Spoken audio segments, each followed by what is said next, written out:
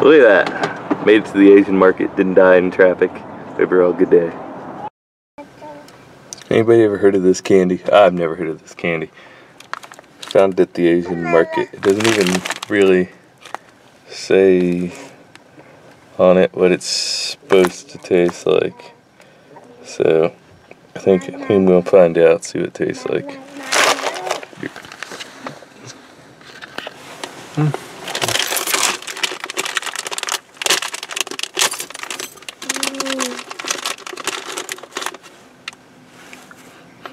Doesn't smell like anything.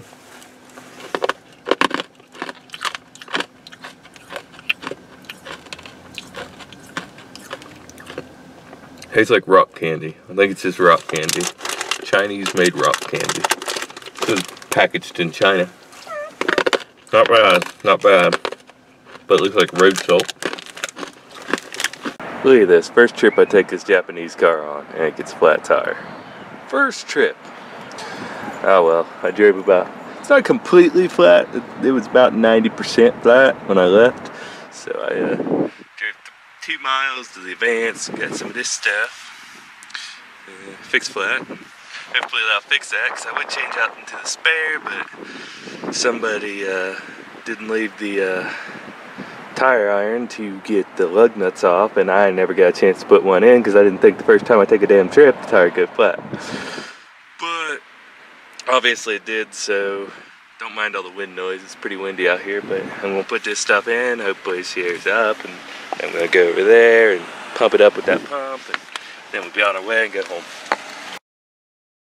This shares up.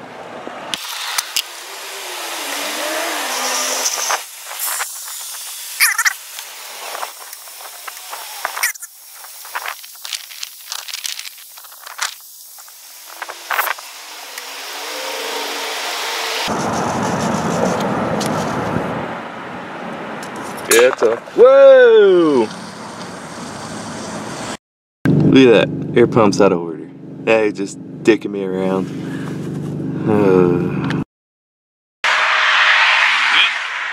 Big splat didn't make her. Oh boy, it's changed tire now. Have to wait for a four-way. Don't own one. Car didn't come with the lug nut wrench, some bitch.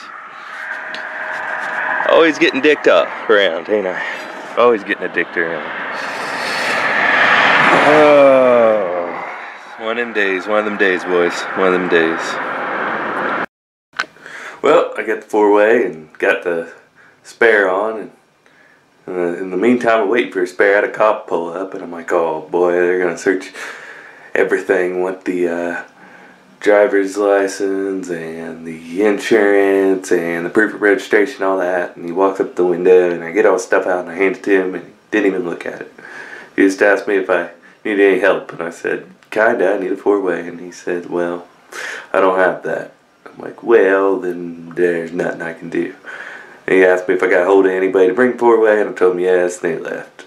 That's overall probably one of the best experiences I've ever had with a police officer when I was at the side of the road, because normally they want to go through everything. So it worked out alright. I got the spare tire on, drove home. Probably going to get a new set of rims and tires because it's supposed to have 14s and the car has 13s on it and it really doesn't look right and uh, just get some new rims and tires if we get to go but anyways uh, thanks for watching like subscribe later